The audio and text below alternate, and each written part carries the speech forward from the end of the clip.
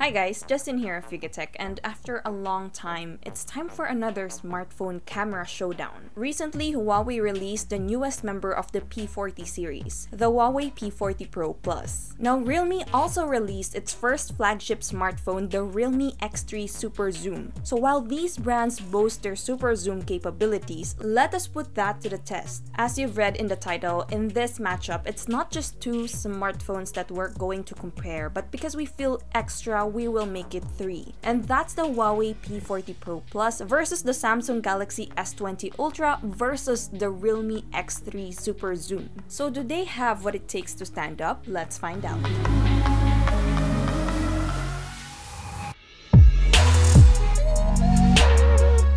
Has had a very fruitful partnership with Leica over the years. The Penta camera on the back of the P40 Pro Plus is of course the star of the show, and it will be the Pro Plus's key selling feature. You get a 50 megapixel primary and a 40 megapixel ultra-wide shooter, and then there's an 8 megapixel telephoto with 3 times optical zoom and another 8 megapixel telephoto with the whopping 10 times optical zoom thanks to a periscopic lens. The fifth shooter is a time of flight one to help the autofocus, portraits, and some of the more advanced video modes. On the other hand, the Galaxy S20 Ultra is composed of a 108 megapixel main wide-angle lens, a 48 megapixel periscope telephoto, a 12 megapixel ultra-wide, and a time-of-flight 3D camera. For the Realme X3 Super Zoom, it utilizes an 8 megapixel periscope style camera which allows it to achieve a claimed 5 times optical zoom. We also get a 64 megapixel Samsung GW1 sensor, an 8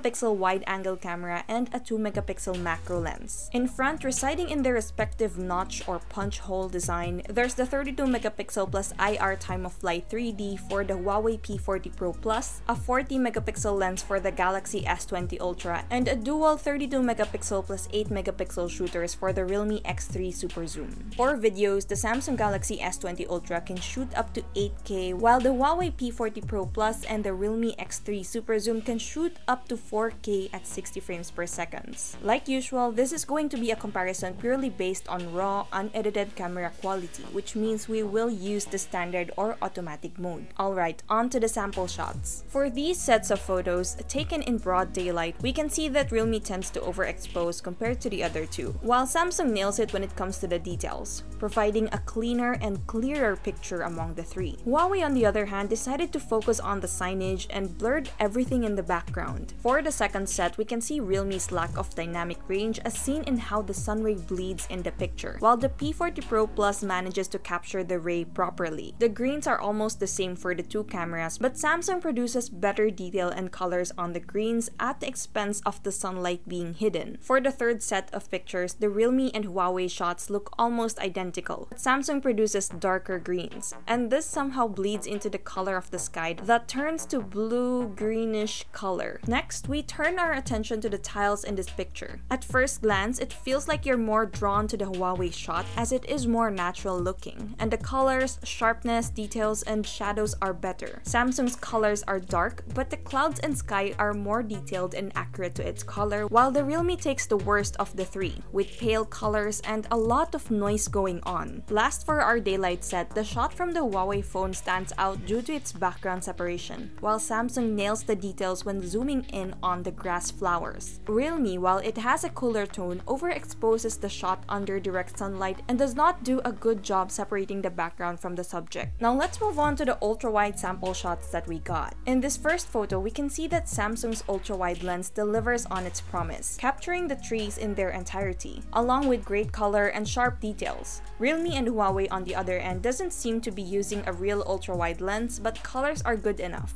Same as with these ultra-wide shots of Samsung takes the cake here in terms of the frame of view. It gets the dynamic range right, and even if HDR is not used, it seems that HDR is still applied. The Huawei P40 Pro Plus mixed up with the colors a bit, as the skin tone and the foliage is more yellowish, a sign that Huawei's ultra-wide lens may be overexposing the shots compared to its primary sensor.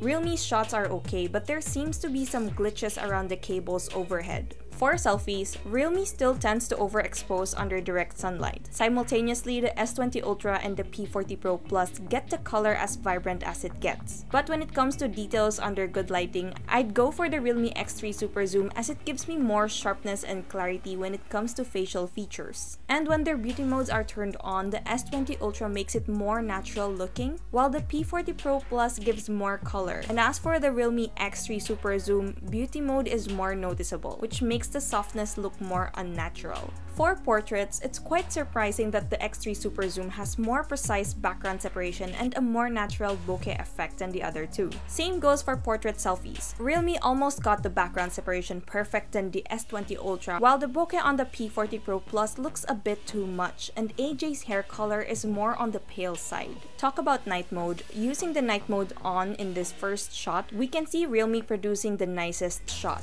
highlighting the lighted areas properly while keeping the sky dark, as in literally black. Huawei's shot also looks nice, but the lights seem to bleed and there is some glare visible. Now Samsung's color reproduction looks questionable as the lights in the guardhouse are different from the rest. And other sources of light that the other two were able to keep out shows here. Next, we can see that Realme uses contrast to produce a more dramatic picture while Huawei's shots create a more natural look, despite the lights bleeding in some places. Samsung provided a clearer image of the sky and manages to tame the lights. The last set for our night mode shots, coming from a scene that's almost pitch black, we can see Realme struggling with too much noise in trying to illuminate the scene. Samsung gets on the safe side, looking more natural and making sure that details are clear at the expense of a darker image than Huawei's. Okay, I know you're curious about this, now let's see how each device performs when it comes to their zoom capabilities. For all three phones, we use their 60 times zoom.